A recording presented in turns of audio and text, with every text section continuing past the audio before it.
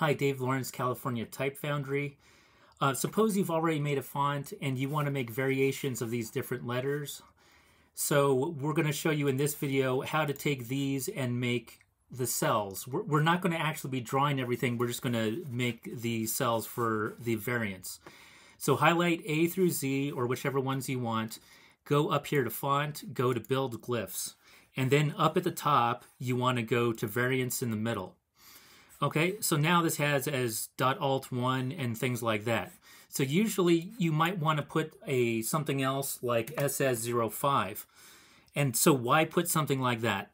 Well, since SS05 is one of the official OpenType features, of FontLab, when you go to making feature code, FontLab will automatically make the code for you for SS05 when it comes time to do that. So usually choose a, feature name that's actually official, a, a, a suffix that's an actual feature name.